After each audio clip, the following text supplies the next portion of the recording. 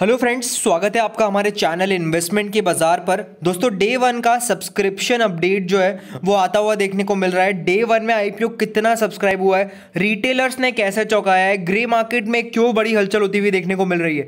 सारी जानकारी दोस्तों आपको इस वीडियो में जानने को मिलेगी तो वीडियो को पूरा एंड तक देखिएगा। वीडियो अच्छा लगे तो चैनल को सब्सक्राइब करके जाएगा। दोस्तों, चलिए दोस्तों, शुरू करते हैं। सबसे पहले फ्रेंड्स आज अट्ठाईस नवंबर का दिन है। डे वन था दोस्तों, आज Dharmaj crop guard limited IPO का। डेफिनेटली शानदार शानदार सब्सक्रिप्शन मिलता हुआ देखने को मिला है। सबसे पहले मैं आपको बता दूँ कि जो आईपीओ है, वो फुल्ली सब्सक्राइब होता हुआ देखने को मिल रहा है। जी हाँ दोस्तों डे वन में आईपीओ फुल्ली सब्सक्राइब होता हुआ देखने को मिल रहा है। टोटल की अगर बात करें तो टोटल मिलाकर आप देख सकते हैं दोस्तों टोटल मिलाकर 1.79 टाइम्स जो ये आईपीओ सब्सक्राइब होता हुआ देखने को मिल रहा है। और अगर आप चार्ट को अच्छे से गौर करेंगे, सबसे ज़्यादा कहा भरा है आईपीओ सबसे ज़्यादा भरा है रिटेलर्स ने। 2.60 टाइम्स दोस्तों रिटेलर्स ने इस आईपीओ को भरा है डेफिनेटली काफ़ी तगड़ा सब्सक्रिप्शन सब्सक्रिप्शन जो है, वो रिटेलर्स की तरफ़ से आता हुआ देखने को मिल रहा है। एन ने 1.8 टाइम्स स्मॉल एन ने लगभग 2.4 टाइम्स एंड सबसे ज़्यादा जो सब्सक्रिप्शन है, वो दोस्तों रिटेलर्स ने भरा है। तो रिटेलर्स ने वाकई में आज के दिन चौंकाया है, और डेफिनेटली बड़े सब्सक्रिप्शन नंबर्स दोस्तों आपको इस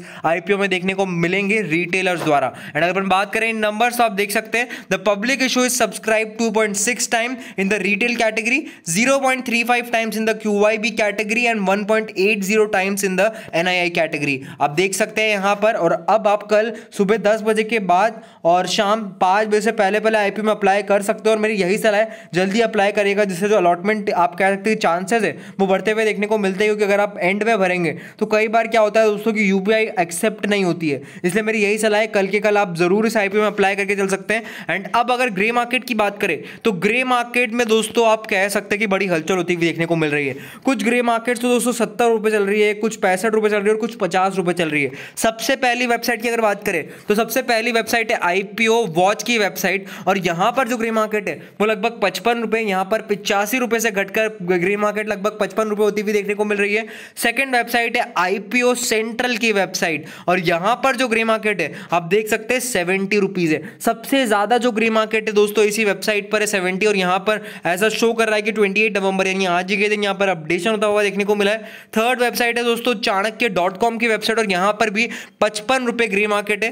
फोर्थ वेबसाइट है दोस्तों चित्तौड़गढ़ डॉट कॉम और यहाँ पर सबसे कम ग्रे मार्केट पचास रुपए यहाँ पर ग्रे मार्केट होती हुई देखने को मिल रही है। तो ओवरऑल तीन चार ग्रे मार्केट्स को एनालाइज करने के बाद, जो मुझे लगता है कि ग्रे मार्केट चल रही है, वो लगभग सिक्सटी फाइव रुपीज़ पर शेयर चल रही है। और I think so thirty nine hundred rupees से फोर थाउज़ेंड रुपीज़ के बीच में फोर थाउज़ेंड रुपीज़ के बीच में आपको फ़ायदा जो है वो इस आईपीओ में ज़रूर होता हुआ देखने को मिल सकता है और डेफिनेटली जिसको भी आईपीओ मिलेगा कई नहीं कम कम से कम भी दोस्तों ट्वेंटी परसेंट से थर्टी परसेंट का लिस्टिंग गेन उस व्यक्ति को ज़रूर होता हुआ देखने को मिलेगा। तो जिनने भी लगाया उनको बेस्ट ऑफ़ लक और डेफिनेटली दोस्तों जो जीएमपी अपडेट्स है वो आपको डेली वीडियो चैनल पर आते हुए देखने को मिलेंगे। तो चैनल का बेल आइकन जो है वो दबा दीजिए और, और भी अगर आपके आईपीओ रिलेटेड कोई क्वेरी है तो ज़रूर मेरे को आप कमेंट करके बता सकते हैं। Thank you for watching this video